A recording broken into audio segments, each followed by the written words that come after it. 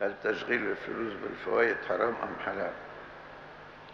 كون أن صاحب السؤال يشغل الفلوس بالفوائد عن طريق التجارة مش حرام لكن بالفوائد يعني بالفايز يبقى مش صح.